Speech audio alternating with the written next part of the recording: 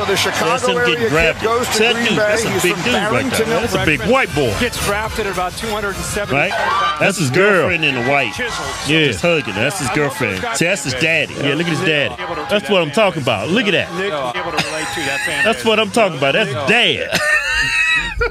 I don't know if you can get away with that in a black family. That's gonna be some blood on the floor. That's gonna be some furniture moving. See, if I came in and hugged my son's girl, there's really no reason to do the um.